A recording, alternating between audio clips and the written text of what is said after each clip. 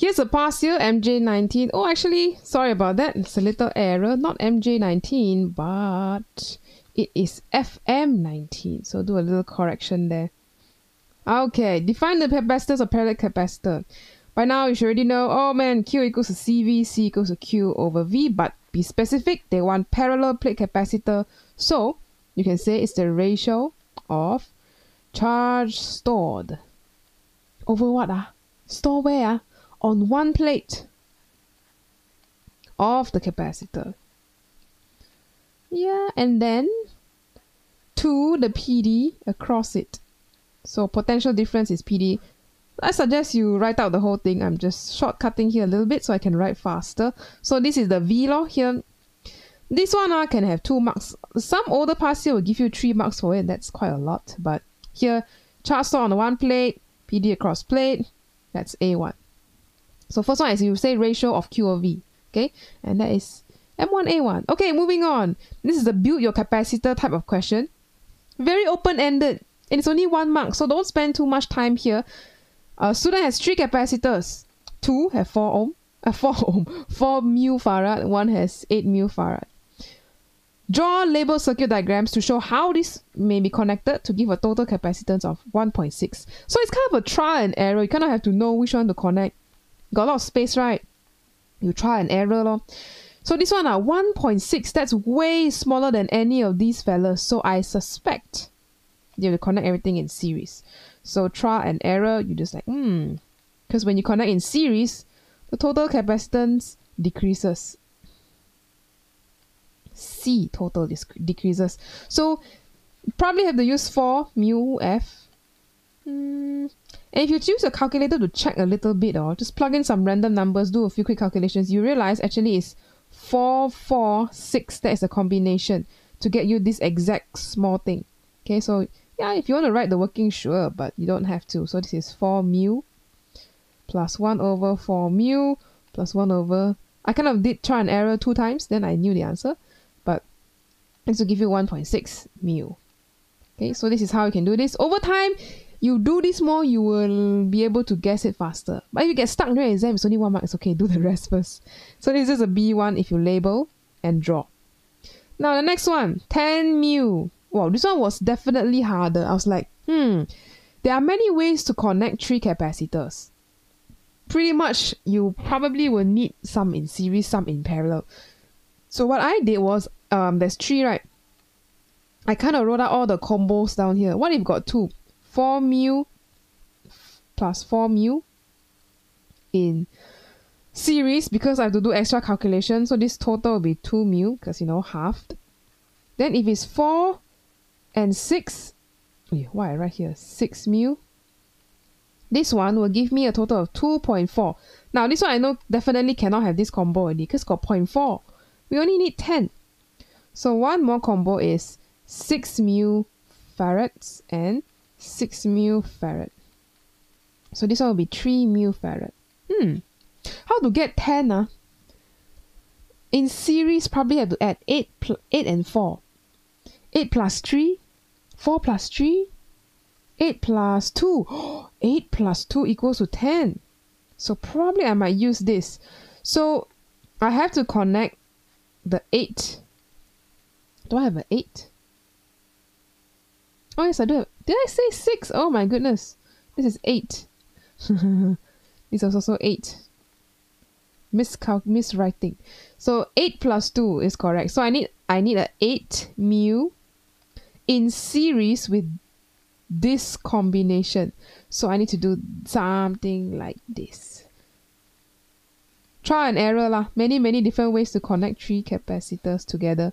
So this will be uh, total 2 mu so 8 plus 2, 10. Oh, okay, very good. Found the answer. So try and error, do some calculations. If you're not sure, maybe it's a good practice to draw all the possible combinations of three uh, capacitors. So you have three in series, one is not in series, or you could have all three parallel like this. You can kind of deal with a combination or rearrangement of any of these uh, numbers 8 and 4, 4 and 8, 8, 8, 4, 4, 4, 4, 8, 8, 8, 8, 8, 4, 4, 4. Okay, lah, you go and play with it lah. Try and error. Two marks. Okay. Now, the one I want to show you today is this one. A little bit out of the topic of capacitors. This is actually stepping into the territory of another chapter in A2 that talks about AC circuits, alternating current, up, down, up, down, up, down. So here you have an alternating current AC generator, a bridge rectifier. We will learn more of this in the later chapter, in the AC chapter. It basically converts AC to DC, but it doesn't do it exactly properly. So you need the help of a capacitor and the purpose of this capacitor is to smooth or do some smoothing on the sinusoidal wave. So AC comes out like this. And you're like, yeah, but I want a DC. How do I do that? This circuit. You will learn more about this in the AC chapter if you haven't learned it already. Okay. So what is this? Where does this come from? Huh? Hmm. Let me show you a very quick simulation of what AC is like. So here I have a AC source plug in there. What shall I connect? Let's connect a resistor. Yeah, sort of simple and nice. So resistor connected. You see, uh, all the electrons are already chilling in the wire. But what happens when you connect it? Dun dun dun. Notice the pattern of these electrons. What are they doing? They're dancing. Like that. Left and right, left and right. So you can visualize that by looking at the voltage changes. So maybe I say, what's the voltage across this resistor? and you see a sinusoidal wave, either sine or cosine, whichever one it is. This is what we call AC. You want to get rid of it sometimes, right? Because of, let's say you want to do something like maybe, I don't know, power generator, light bulb, and then just like, wow, I don't want, our house supply is all AC, but I want a DC. How can I convert? And that is your bridge rectifier lah, that we looked at just now. So, fun fact, what if you put like a capacitor here, how will it look like? Ah? Let's try and see. You see the capacitor? Charge, discharge, charge, discharge. Ah, yeah. Doesn't get to store any energy. But we're going to use a capacitor in our current scenario to smooth out this sinusoidal pattern for voltage. And also current lah. Sure, you can look at current also. Nah. See the current go forward, backward, forward, backward. So that will be this pattern right there. Okay, back to the question. So our bridge rectifier here, just make sure that it's only positive part coming in. So here got positive, got negative. Ma. So it can be either something like this. Boing, boing, boing, boing. This is a, a type of rectifier. Or it could be just cutting off the negative part. So boing, no negative part. Positive part, no negative part. So either one of these could work for rectifier. But anyway, this is not great. So usually you want to smooth out this thing with a capacitor and that's the purpose of the capacitor over there. So a bit hard to smooth lah. Maybe like this. So judging from the shape, maybe it might be the first case a little bit. Yeah, the shape of it. Charge and then here is like this charge. So how does the capacitor work? When there is uh, some current coming out of the bridge rectifier, that's when it's charging. So maybe something like from here, whoops, where is my thing? From let's say here to here, looks like it's going to be charging the capacitor when there is voltage coming through from the bridge rectifier. Then there will be times where there's nothing.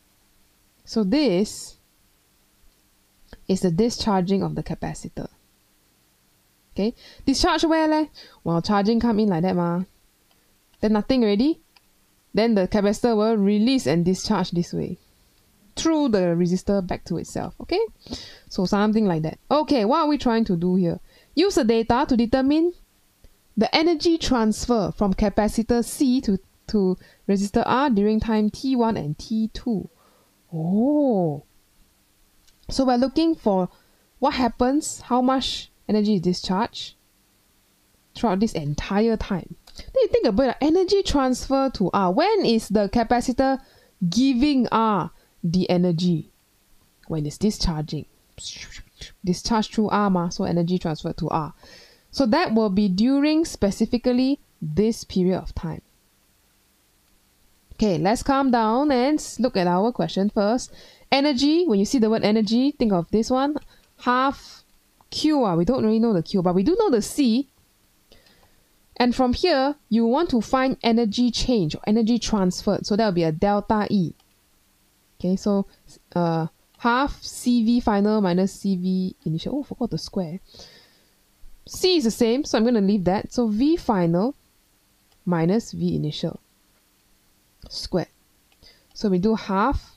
Capacitance is 47 mu. Now the voltage, what do we minus? Ah? what is the change in voltage of the capacitor? Hmm. We don't know, but we do know it's related to the uh, variation of voltage across resistor R. Because same ma, my voltage, your voltage, we are in parallel. Okay. So we can assume that you can use this graph to understand as well. So there is a change in voltage. The energy transfer happens when it is discharging, capacitor discharging. So that means you have somewhere from here to here during this period of time, that is when there's an energy transfer happening. So from there, go to here. Now, how would you find this value? Ah, yeah, you go and find. Like, this is about 7, I think. This looks like 7. So here is 7 volts. Drop down to, if I look correctly, this is 4 volts. So you kind of have to zoom in a bit and see. 7 to 4, 4 to 7. So I'm going to do, oh, so there is an energy transfer to the resistor that is 7 minus 4. Hmm. This will give me about 7.76 times 10 negative 4. Or I can write as 2SF, which is fine too. 7.8 times 10 negative 4 joules. This one is A1. Equation C. Substitution of this thing, C1. So they want they, this one of the hard thing of this question is do you know what V to use? Uh? Why got so many way to read from the graph? What is the change in potential across the capacitor? Which we don't know, but we do know the change in potential across the resistor. So from there you can infer, oh, changing potential happening there. Okay, so that is this our sneak peek of AC circuits. And I think that is all for this question. So I will see you in the next question around.